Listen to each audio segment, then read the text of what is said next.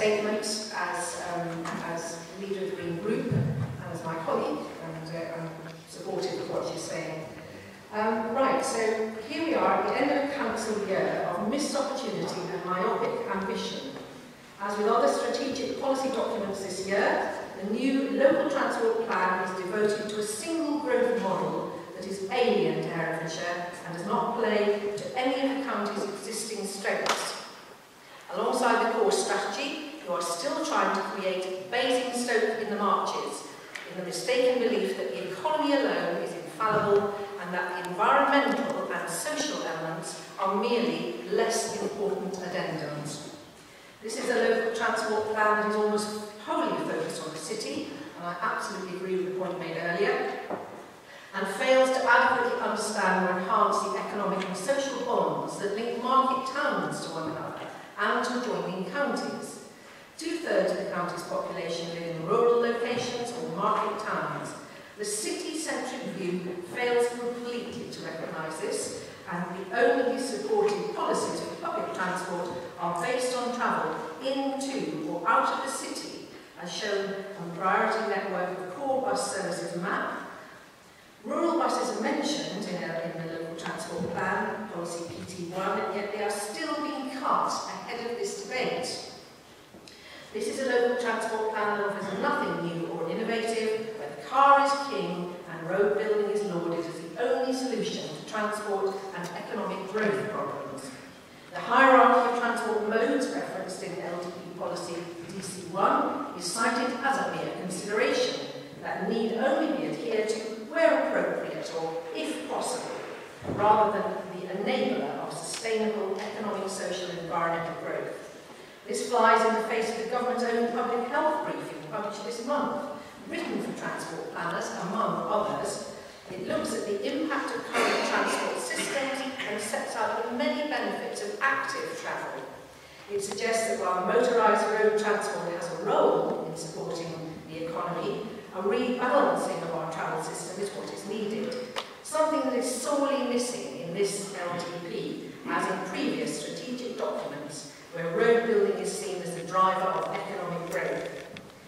This short-sightedness and outmoded thinking is compounded by the mistaken belief that disproportionate investment in the city and Rotherwas enterprise zone will provide a trickle-down effect that will automatically benefit the rest of the county. According to figures quoted at Overview and Scrutiny Committee, only some 254 net jobs out of a potential 4,000 target have so far been created, despite the amount of money poured into it. Some 10 million investment, according to the recent April 2016 Marches' annual report. Now we're being told that we haven't realised the potential growth because we need a new southern link. That once in place, everything will be okay and the enterprise zone will really take off. Well, it's not okay from our point of view, and it's not okay from the LTP's own strategic environmental assessment findings.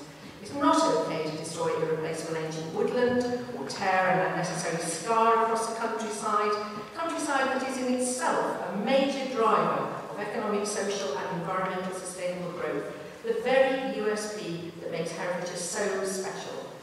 All this for just 250 net, uh, 54 net jobs so far? How much investment per job created is this? And why is this better value for money than supporting the smallholders and supporting our small businesses, tourism and all the other uh, interlinked parts of our local community?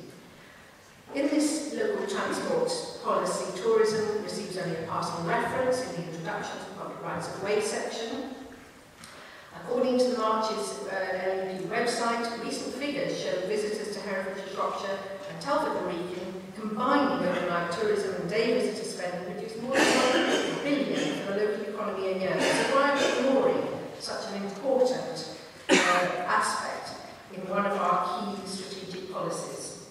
Linking tourism, am I right time?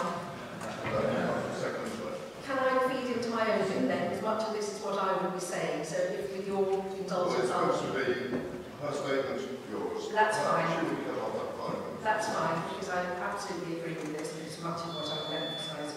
So, can I carry on to my own bit? You can say what you wish. Thank you. Okay, I'm going to continue with Jenny in that case. Um, tourism to public transport, may interest fellow members to know that our recent research of uh, bus patronage in Leominster and North Herefordshire, South Shropshire, shows that bus passenger numbers go up in the summer when they are heavily used by tourists and day visitors. This rise in patronage more than replaces the absence of students and school children in term time. Our, our local transport plan needs to be an enabler of choices and opportunities for economic, social and environmental growth, not a millstone that stifles diversity and leaves us with such disproportionately heavy costs that we must pay through other mechanisms. Air quality links to early mortality, and is a major issue, of course, in, in Leominster, and health problems are headline news again. How much does this cost in terms of NHS resources and quality of life? What cost of repairing local roads?